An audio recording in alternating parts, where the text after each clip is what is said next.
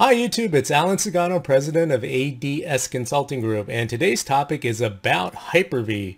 Hyper-V, as you know, is uh, Microsoft's uh, hyper uh, hypervisor. Uh, it runs on, well, now Windows Server 2019.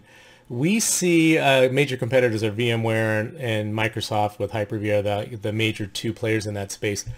We see Hyper-V get installed almost always incorrectly. What? What do you mean? So Here's the first thing. Number one, we recommend that you install Hyper-V on Server Core. If you don't know what Server Core is, basically Server Core is a specialized installation of Windows Server where it's basically stripped of the GUI. So you just have kind of a command prompt and that's it. And there's a sconfig utility, which is kind of like an old DOS um, menu-driven kind of text-based system, but that's pretty much it.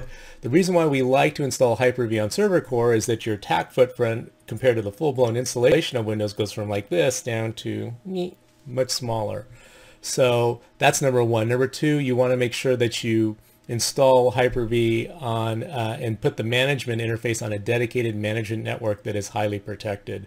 So a separate uh, network inter, uh, NIC, uh, network interface card on a separate VLAN and make it very difficult. We recommend two-factor authentication to get into the management VLAN. Actually, we're recommending two-factor authentication everywhere now.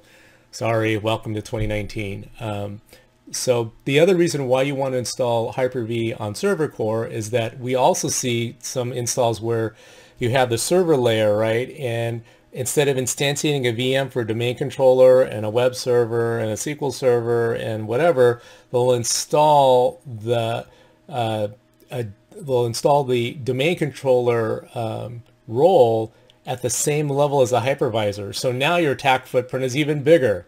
That is not good. So what you should do, right, is just have Hyper-V at the host level and then any services that you want to install additionally, instantiate a VM, instantiate a VM, instantiate a VM.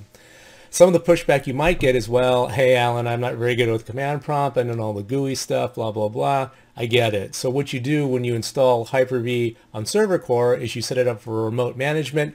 You set up a separate management server that allows you to remotely manage the Hyper-V host and pretty much not every single thing, but pretty much almost everything you can manage remotely. So you lose, you get all that GUI goodness, you get uh, the small, smaller attack footprint, and hopefully you won't make the mistake of instantiating uh, additional roles or services at the host level, instantiate those in VMs. That's the tip of the day. Hopefully you like this content. If you do, do please, please, please, boink, hit that subscribe button and uh, we'll keep making this content. Thanks for a lot for listening and we'll talk to you soon. Thanks.